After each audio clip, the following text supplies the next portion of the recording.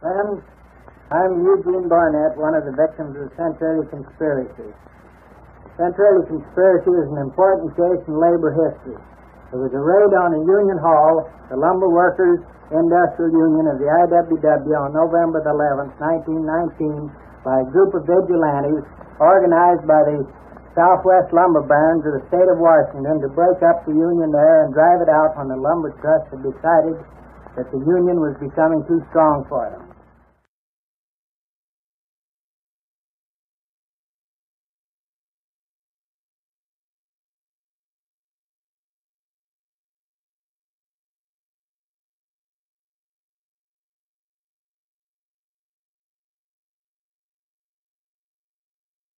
Northwest, when I came on out there in 1910, I found that the loggers up in the state of Washington were working 11 hours a day.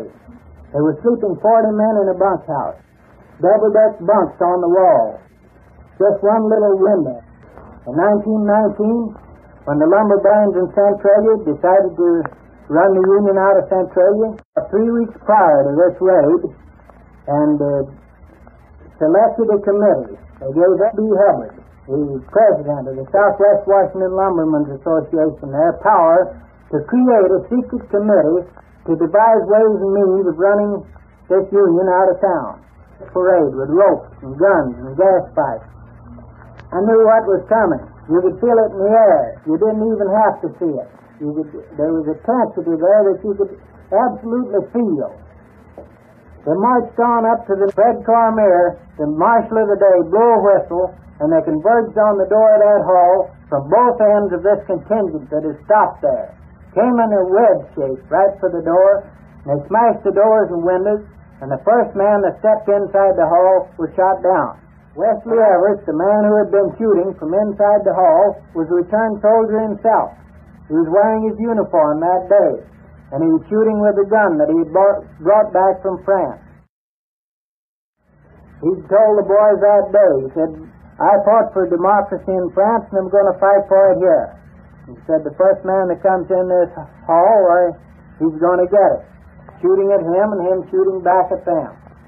They ran about a quarter of a mile from there, ran down to the Skookumchuck River. And he started to wade the river, but for some reason or other he turned around and come back. Came back on the bank, and he said, if there's an officer in the bunch, I'll surrender. If there's not, lay off of me. They attacked him, and he killed Dale Hubbard down there, nephew of the president of the Southwest, rope around his neck, tied it behind an automobile, and drug him back into town behind an automobile. They drug him down with a, within a half a block of the city jail and hung him on a telephone pole.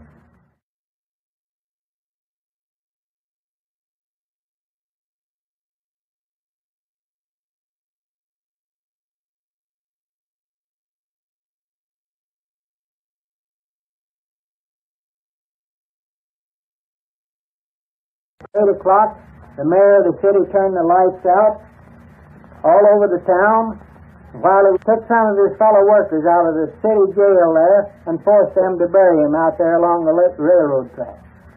That was the unknown soldier's grave he got.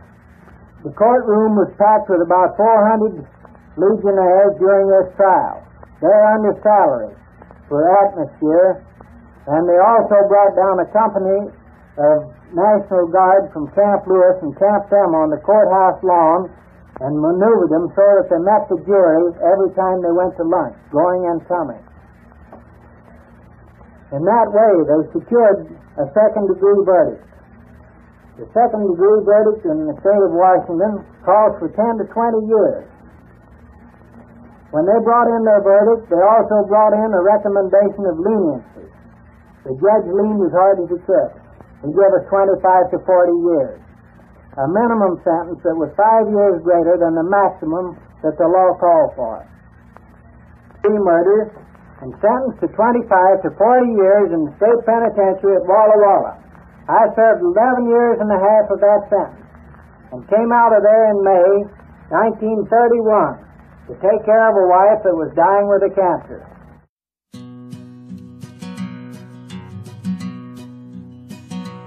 Wesley Everest was a wobbly, he fought the wobbly fight. For better pay, the eight hour day in a warm, dry bed at night. The townsfolk called him red and tried to chase him out of town. Everest turned and killed a man, and they brought that wobbly down. Since 1919, when he died, the wobs still tell the tale. How the lights went out in town, and how they dragged him from the jail.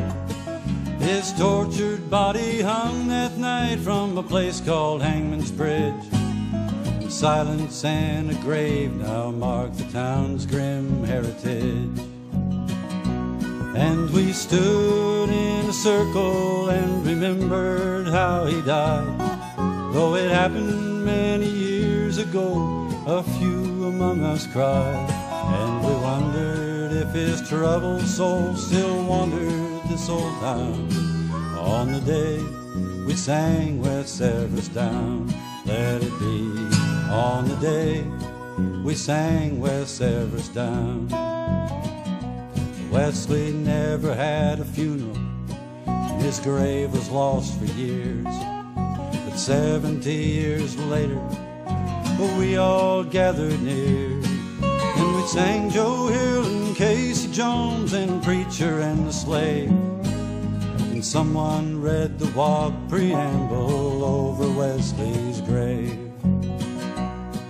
The cold November rain came down like tears from unseen eyes, and a million fellow workers' voices sang harmonized. An injury to one has been an injury to all.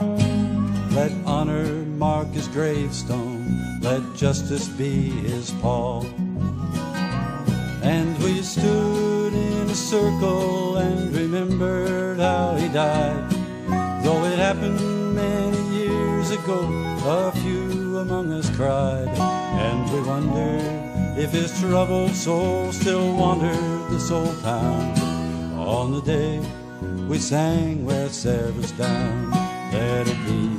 On the day we sang Wes Everest down, let it be on the day we sang Wes Everest down.